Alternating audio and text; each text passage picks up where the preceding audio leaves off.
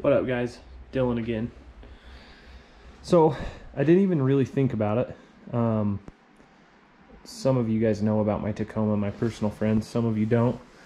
This is actually one of my favorite vehicles of everything I own.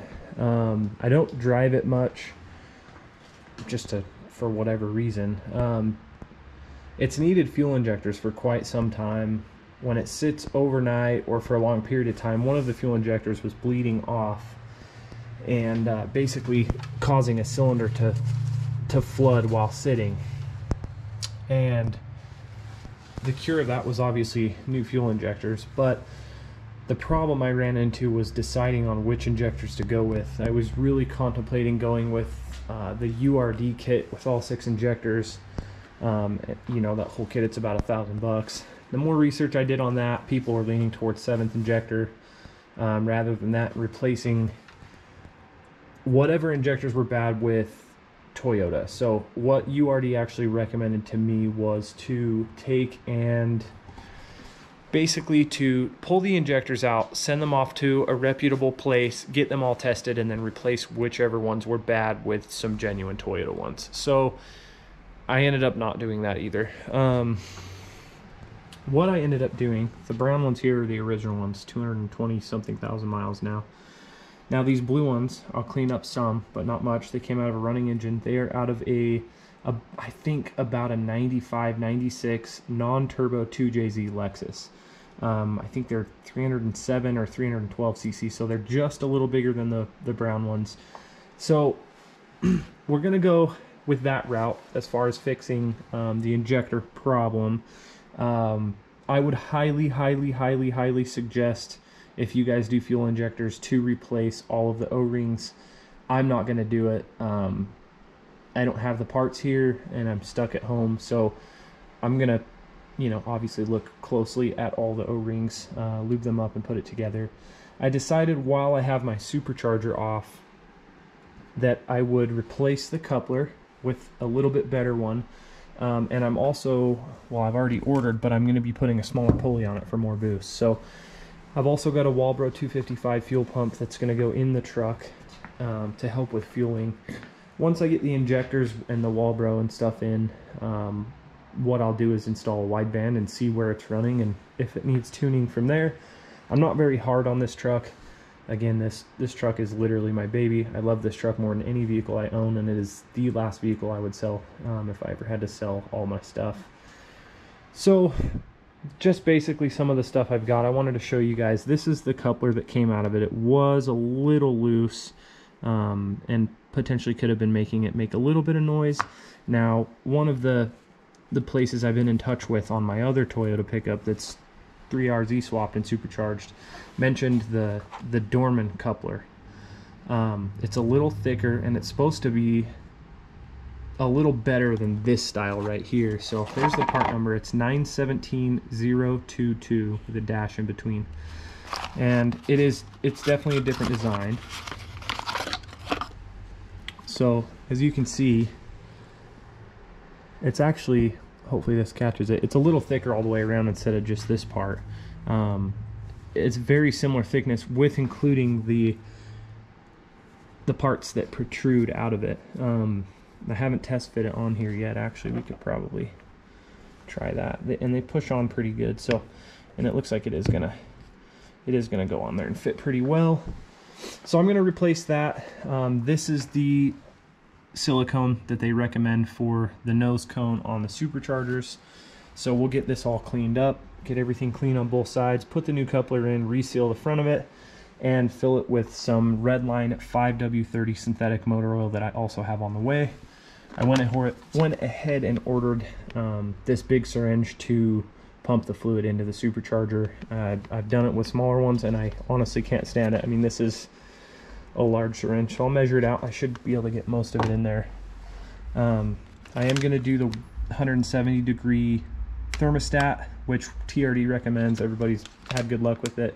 And uh, I'm also going to wire this, um, it's a two wire volt meter basically and it's supposed to fit right in one of the empty spots in the Tacoma. Let me show you where. So don't mind the mess. I've not planned on videoing this truck. Um, but I believe it fits down, if you can see it, how dark it is, in one of these sections here. And it just gives you a good actual voltage reading off of the truck, um, which I think is awesome. It's green, which matches the color of the vehicle, truck, whatever. Just a quick overview. I had all my tools and everything over at um, the other shop you've, well, you will see in the short bed build. Um, everything's here now. I've not had time to organize. But basically, it's a 2002 Tacoma double cab.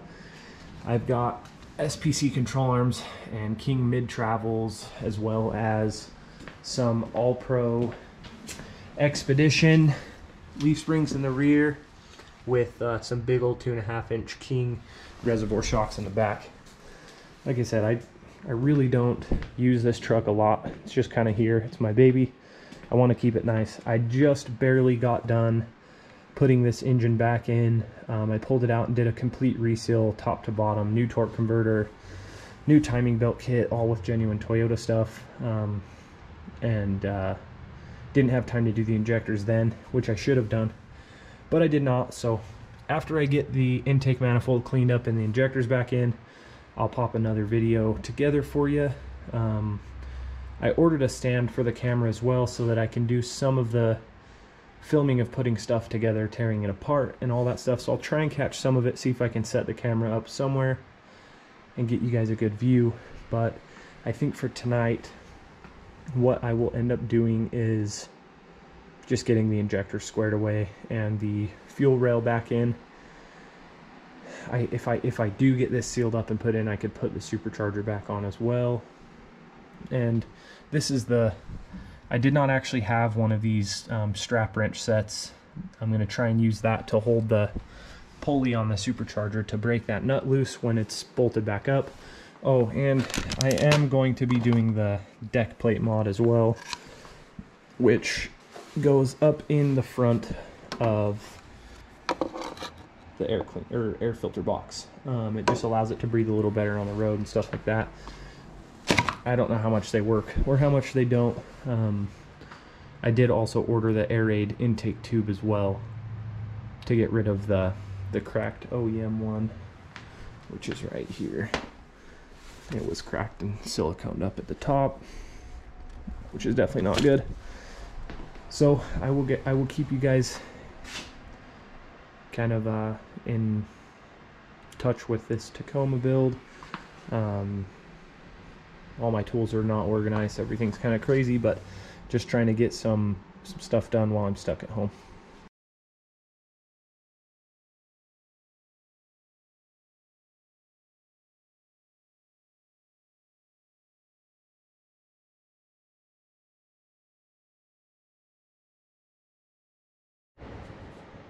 Okay guys, so I got all the fuel injectors in, I cleaned all the O-rings, cleaned the tops and bottoms of them, uh, vacuumed the holes out. Now, a lot of you guys are going to say, oh my gosh, he's putting used fuel injectors in his truck. So the majority of people are replacing fuel injectors or buying eBay fuel injectors that are refurbished, which they basically do the same thing. They pull them out of another motor or they get cores in and they test them um, and whatever one's passed, they clean up and throw in a box. Um, the chances of having aftermarket or Chinese injectors being better than a used set of known good, genuine Japanese fuel injectors is not comparable. I would much rather take my chances with buying fuel injectors from a friend of mine who knows they're good, um, that are all Japanese that came in that 2JZ to begin with. That's why I choose to um, go this route. So we're gonna see if we can't get this uh, fuel rail stuffed back in here gonna be kind of tricky to get past all this stuff, but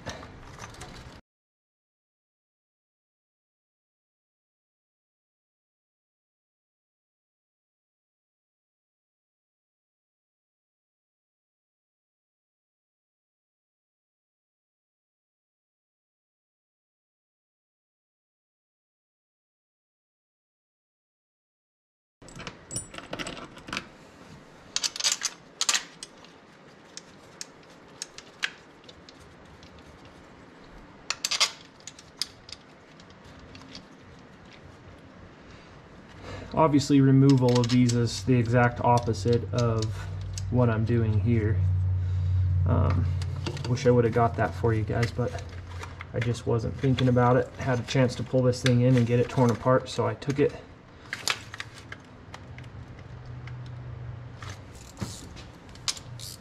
It's a 12 millimeter bolt, or you should use a 12 millimeter socket rather.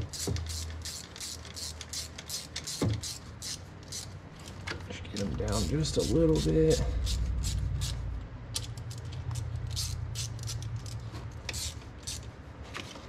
Sure all your plugs are clear. I like to move the injectors back and forth just a little bit. Make sure they're seated and they're free in their hole where they need to be.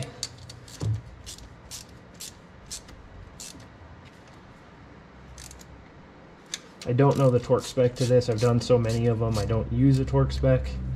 I suggest you look it up.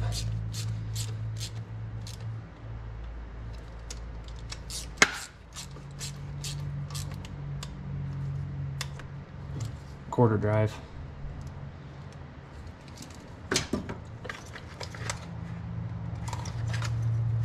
Now they're going to be in there pretty tight once you get that done, so you want to make sure they're pointed where they need to be.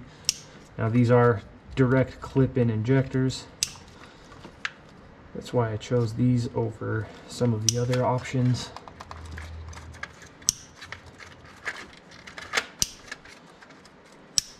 Don't want to forget the injector return line. None of this stuff is fun to get to.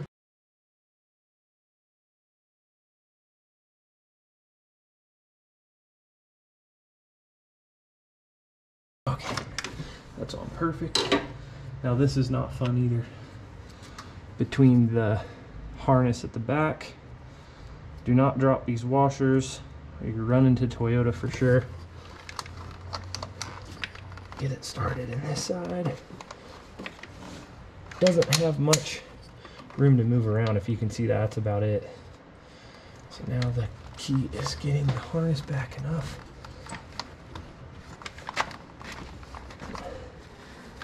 get the line in. And of course it's gonna be a pain in the butt to get back in because it also has its own bracket that can bend slightly. So we're gonna remove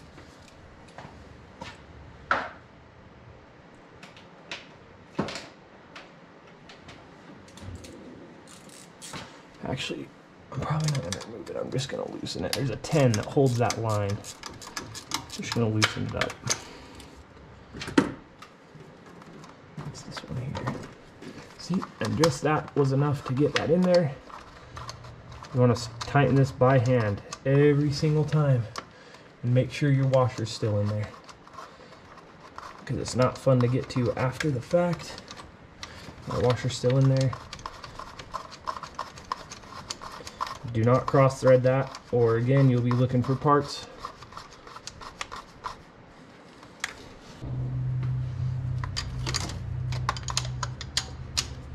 Now you got to be pretty gentle because the whole rail moves.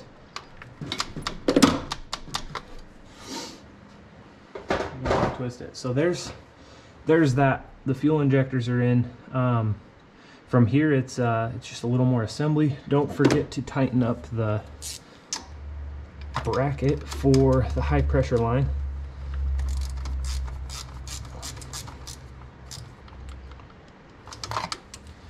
Back and all six in there good. Everything else is sitting where it needs to.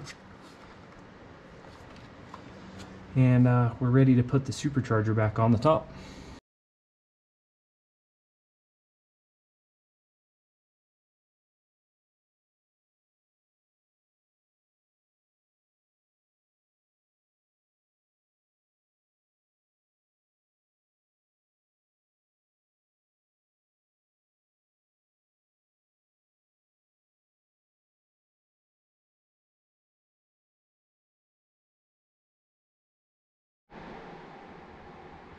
Okay, so just so you guys know, you don't need a ton on this.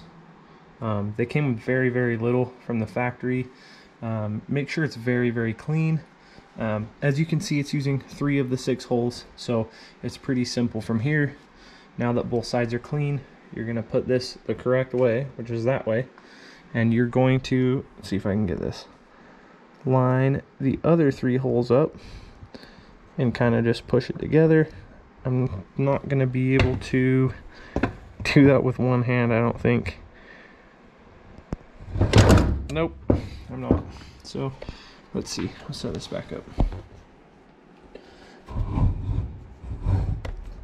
It doesn't look like we messed any silicone up. Just pull that little piece out. So again, just like I was showing you, line the three holes up.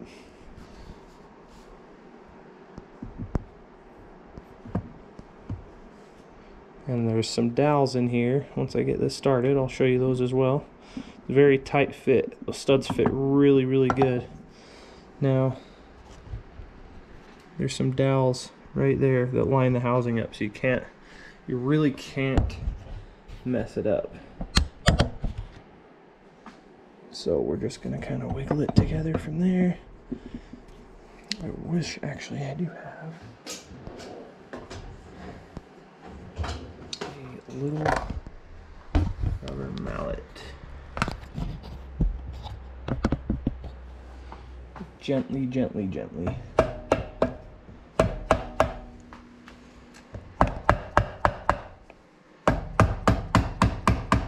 Evenly, there's three of them.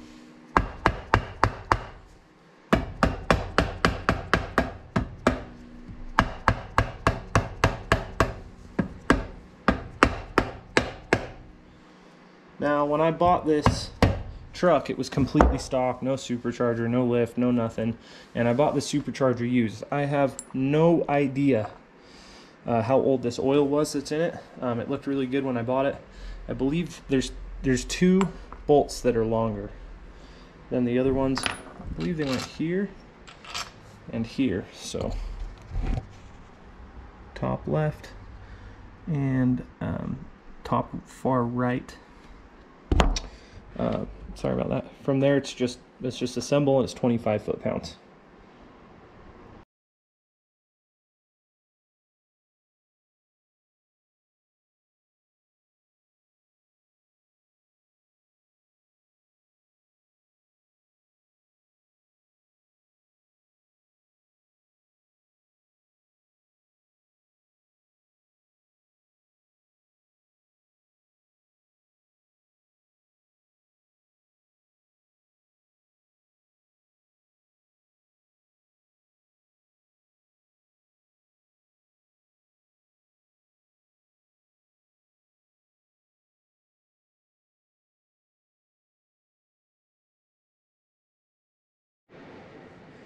Okay, so I time-lapsed everything through here. Um, there is a torque spec for these. I don't use them. I've had the supercharger off multiple times. I've done multiple superchargers. Um, if you don't have a close range of what you think it should be, I would look the spec up. Uh, there's two coolant hoses for the throttle body on the bottom. Uh, there's two electrical connectors, and there is an evap hose that goes into the back. Um, that's pretty much it for this side. Now there's the long 10, uh, 10 millimeter head here, and then two 12s that are bolts, and then a nut on the front and back. And I'm trying to keep this video as short as I can for you. Because it's not just one thing uh, getting done in here. Can't really walk you guys through, take an hour. They don't need to be over tightened at all.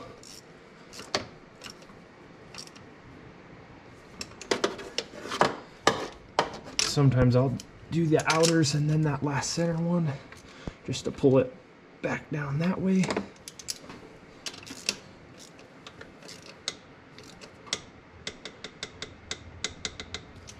Okay, so I have to excuse my magnet mount coming undone here. Now on this side, I'm gonna have my, my brace bolt here, a brace bolt there, and then I'm just got I'm gonna have a few vacuum lines. They're retaining, there's two 10 millimeters here.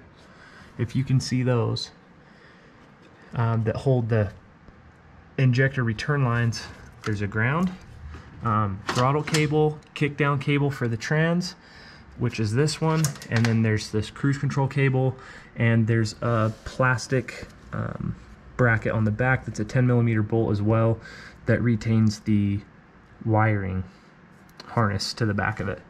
Um, so that's all pretty pretty easy stuff. I mean, you guys are at this point you're already going back together. So you've already done that stuff, um, but you can refer to this as removal just backwards process from where I'm at. Um, I'll come back in a few minutes when everything's buttoned up.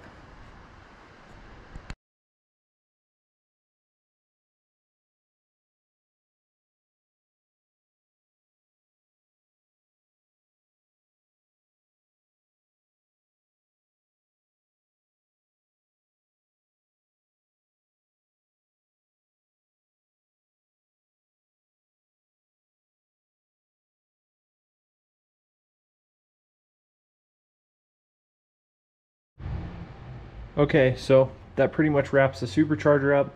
I have the Airaid intake piece coming. Um, I am going to hook this up. Um, I don't know if you guys could see the way it is. I just wrapped that up. There is a little peg. See that on the cable? It needs to sit flush with the end of that. Um, that's where the kickdown is supposed to be at. So I've got that set about right. Um, I've got it to where the throttle the throttle cable there is pretty tight, but it's not holding it back at all to raise idle. That I'll just wrap around, hook that through, and um, adjust it accordingly as well, just so there's not much slack.